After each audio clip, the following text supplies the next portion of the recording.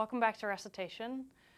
Uh, in this segment, we're going to talk about the product rule for three functions, and then we're going to do an example. And what I want to do first is remind you the product rule for two functions because we're going to use that to figure out the product rule for three functions. So throughout this, this segment, we are going to assume that u and v and w are all functions of x, so I'm going to drop the of x just so it's a little easier to write. This notation should be fam familiar with things you saw in the lecture. So for two functions, let me remind you. If you have uv, the product, and you take its derivative, so prime will denote d dx, then we can take the derivative of the first times the second function left alone plus the derivative of the second function times the first left alone. So this should, again, be familiar from class.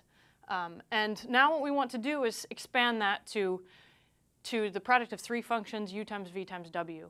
And we're going to explicitly use this rule. So u v w prime is what we want to look at. So we're just gonna we're just gonna take advantage of what we know to figure out what this expression will be, what this product of three functions when I take its derivative will be. So in order to do this easily, what we're going to do is treat v times w as a single function. Okay, so v times w will be our second function that, that essentially takes the place of the v up here.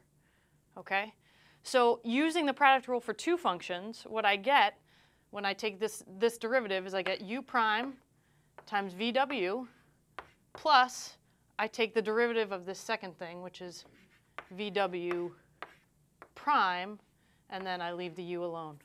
Okay, we're not quite done, but you can see now, again, we, if we compare to what's above, you take the derivative of the first function, you leave the second function alone. You take the derivative of the second function, you leave the first function alone. But now again, what do we do here? Well, we have a product rule for two functions, so let's use it.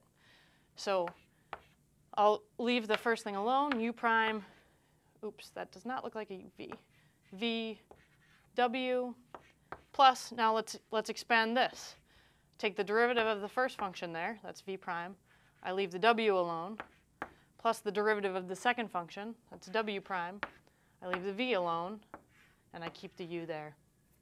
Okay, I'm going to just expand and write it in a nice order so we can see sort of exactly what happens. So u prime v w plus v prime u w plus w prime u v. So what you can see here is what happens. You take the derivative of the first function, you leave the second and third alone. Then you take the derivative of the second function, you leave the first and third alone.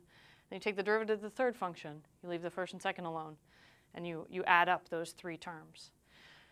I would imagine that uh, at this point you anticipate a pattern. So if I had a fourth function, if I did u times v times w times z, let's say, and I took that derivative with respect to x, um, you could probably anticipate you would have four terms when you added them up.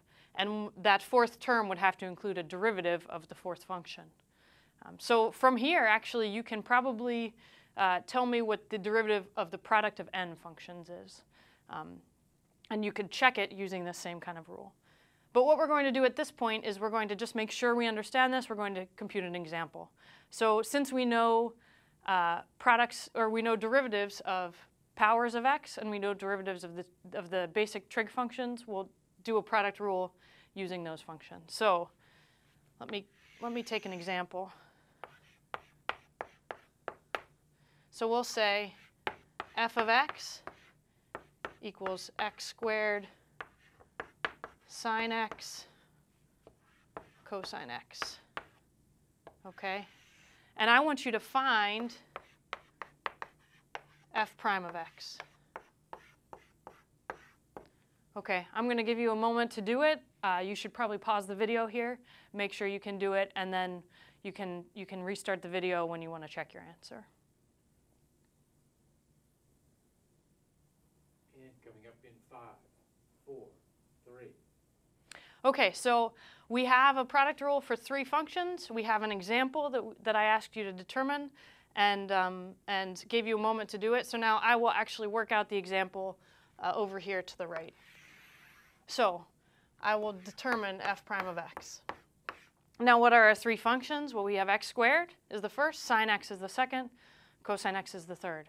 So we'll have three terms. The first term has to have the derivative of the x squared. That's going to give me a 2x, and I leave the other two terms alone. So I have 2x sine x cosine x plus, I may want to just write these below. Okay, now in the next term, I should take the derivative of the sine x and leave the x squared and the cosine x alone. Derivative of sine x is cosine x. So I'm actually going to write this underneath. So we'll have, I'm going to put the plus underneath also so we remember it's a sum. Plus, so the derivative of sine x is cosine x, and then we have a times x squared times, oops, another cosine x of what the third function. Okay? And then the third term, I take the derivative of the third function and I leave the first and second alone. The derivative of cosine x is negative sine x. So I actually have a negative sine x times x squared times the sine x here. I can do some simplifying if I want, um, but maybe uh, if I were trying to write this nicely for someone who was reading mathematics, I would put all of the, the polynomials in front and all of the coefficients in front. So to be very kind to someone, I might write it like this. And notice cosine x cosine x is cosine squared x, and then minus x squared sine squared x. And there are other ways I could, I could rewrite this and, and using trig identities, but this is a sufficient answer at this point. So this is actually um, a good way to write the derivative of that function f of x. And this is where we'll stop.